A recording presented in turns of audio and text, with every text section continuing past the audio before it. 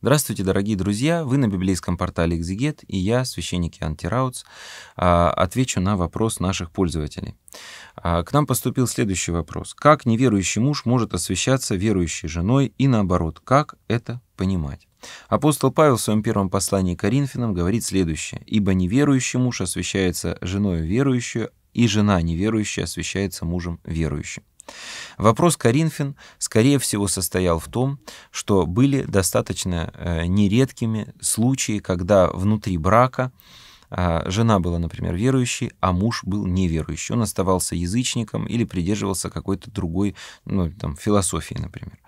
А, а жена была верующей. Она хранила в тайне свою веру в Иисуса Христа, а, хотя она, естественно, и приступала к таинствам церкви, и была действительно, э, жила по заповедям Господа Иисуса Христа.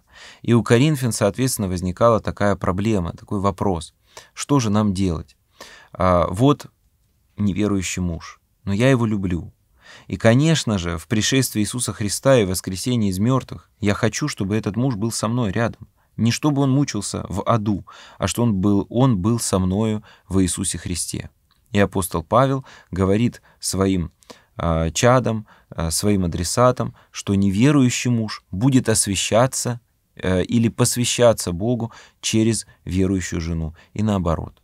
Иногда мужья были верующими, а жены были вне Господа. А, но новые браки для христиан, ну, точнее, когда ты уже христианин, апостолом Павлом заповедовалось а, заключать в Господе, то есть а, жениться или выходить замуж за уже верующего человека внутри общины или вообще просто христианина, а не вступать в брак с иноверным человеком. Это впоследствии вылилось в канонику церкви, где брак с э, человеком э, из иной религии, не иной конфессии, например, христианской, а иной религии, а, является поводом для отлучения человека от церкви. Хотя сегодня этот, э, эта практика именно такого отлучения не применяется, но в то же время такое правило есть, оно никем не отменено и основано на текстах Священного Писания.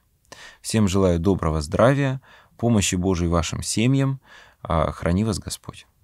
Дорогие друзья, а, наш портал предлагает вам ознакомиться и а, пройти нашу викторину, которая была на нашем портале создана. Это прекрасная возможность изучить ваши знания о Священном Писании. Ссылка на эту викторину находится в описании под этим роликом.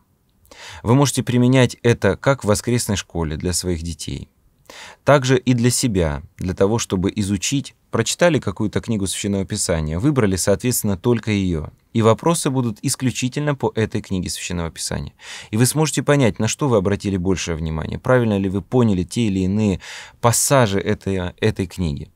А, геймификация образования — это один из сегодняшних трендов педагогики, когда изучение того или иного материала сопровождается каким-то визуальным контентом, прохождением тестов, викторин или специализированных подготовленных игр. А, здесь подключаются разные зоны нашего восприятия, разные зоны нашего сознания, и, соответственно, человек больше может узнать о себе, проверить самого себя. Поэтому я желаю вам а, воспользоваться этим прекрасным инструментом и а, тем самым улучшить ваше знание священного текста. Храни вас Господь, до новых встреч.